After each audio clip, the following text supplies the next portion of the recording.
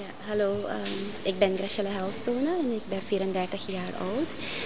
Um, de reden waarom ik gekozen heb voor um, deze training is omdat ik uh, hele slechte eetgewoontes heb.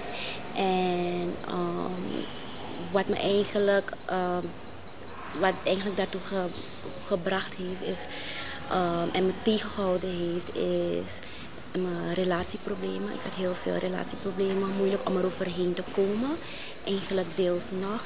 En um, ik, uh, ik heb een onregelmatige eetlust. En als ik echt eten dan um, is het meestal met KFC. Vooral als ik me helemaal in een dip zit, is het meer junkfood. Dat me eigenlijk zoet houdt. Op bepaalde dagen eet ik gewoon niets. Weinig drinken, weinig... Um, weinig exercise.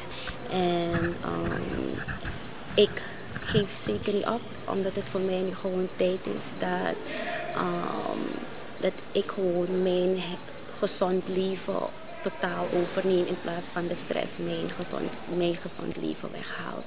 Ik leef voor mijn dochter van drie en daar ga ik voor. Dank u.